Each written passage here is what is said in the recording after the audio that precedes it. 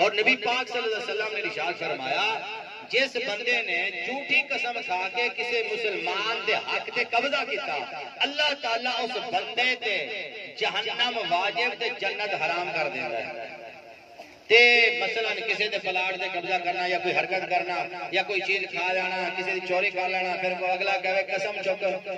तो झूठी कसम चुक जाके माल हड़प कर जाता है ते बंदा याद रख लवे नबी पाक ने फरमाया अल्लाह जहन्नम वाजिब कर देंदा है जन्नत हराम कर देंदा है। ते दुनिया दे भी वबाल आउंदे ने ओदे उत्ते नुकसानात भी आणगे, बीमारियाँ ते किसी और काम में नुकसानात भी पैदा हो जाणगे।